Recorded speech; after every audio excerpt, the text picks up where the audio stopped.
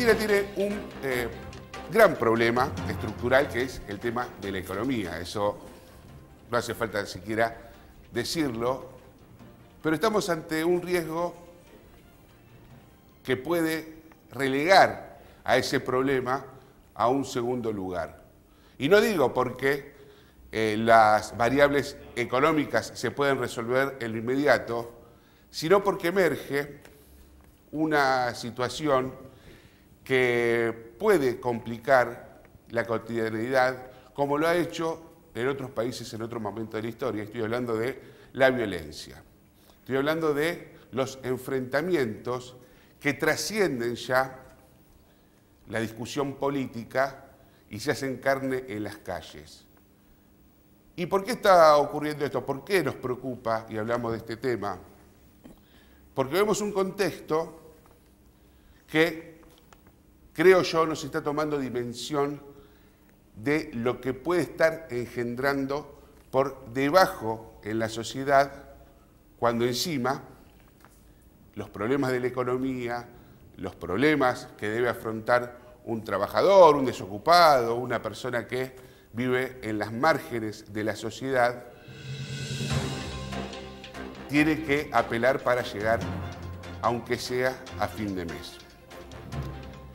Y en ese contexto aparecen expresiones que preocupan.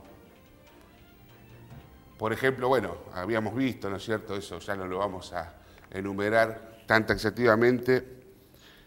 Jóvenes con antorcha, guillotinas en la plaza, consignas de guerra, insultos por encima de lo, de lo racional. ¿Y qué hizo la clase política? ¿Lo repudió? en ese momento? ¿Puso una, una alerta o se hizo la distraída? Hubieron algunas distintas reacciones, ¿no? Pero lo que no se hizo fue tomar el tema con la seriedad que se necesitaba. Lo vimos nosotros en la provincia de Santa Fe cuando vino el presidente Alberto Fernández, el ministro recién asumido entonces, Sergio Massa, un escrache que le hace una mujer y su hija que a modo de emboscada los, llama para saludarlo, el ministro se acerca y le empieza a insultar, bueno, dice corrupto todo eso. Eso parecía un simple eh, escrache que, claro, cualquier dirigente político se expone en lo público a recibir críticas. Sin embargo, bueno, si eso se vincula a un montón de otras situaciones y de algunos sectores que empezaron a tomar mayor peso cuando dos semanas atrás vimos un atentado de magnicidio, un atentado de asesinato a la vicepresidenta Cristina Fernández de Kirchner, las cosas se tornaron más oscuras. Y por un milagro, este país no cayó en los abismos de la historia. Y bueno, veíamos, ¿no es cierto?, esos eh, personajes marginales que de algún modo la política permitió legitimar.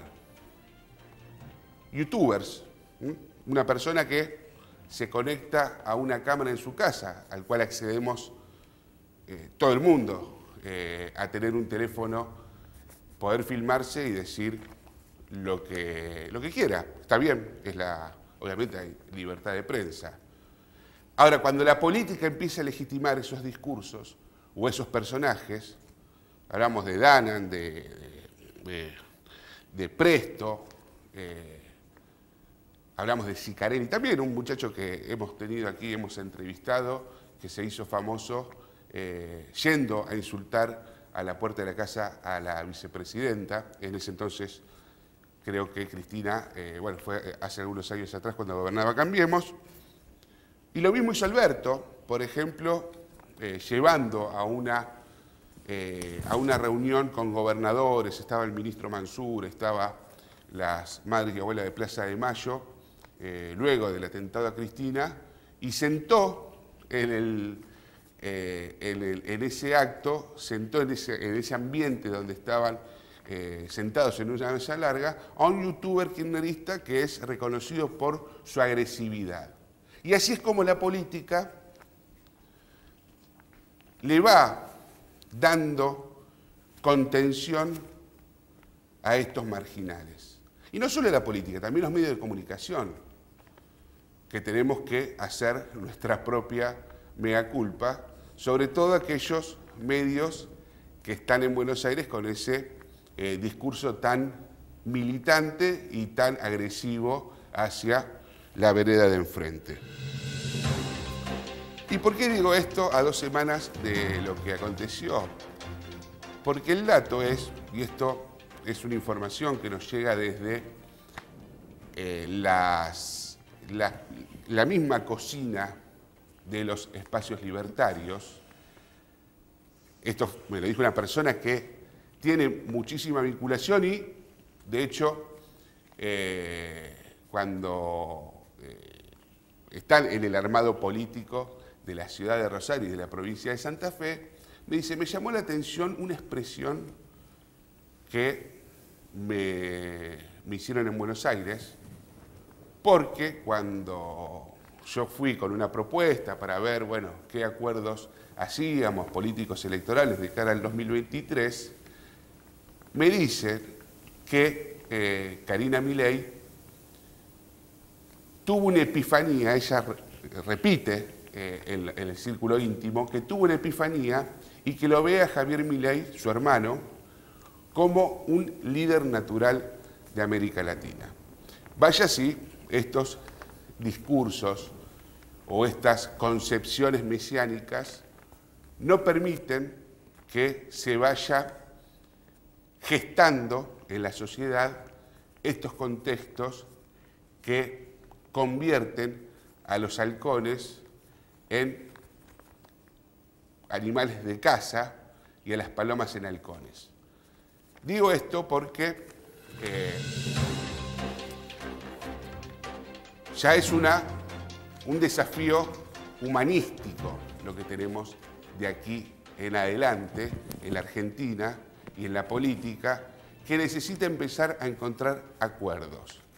Vimos, por ejemplo, cómo las fuerzas de seguridad insultaban al diputado nacional Máximo Kirchner. Uno puede tener sus, eh, sus opiniones respecto a cada uno de los dirigentes eh, políticos que quiera.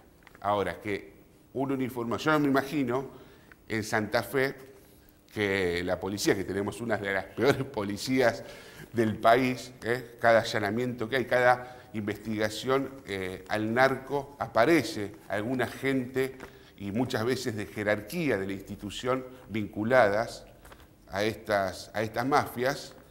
No me imagino a un policía de Santa Fe insultando a un diputado, a una diputada, a un concejal, etcétera, a una figura política de la misma provincia.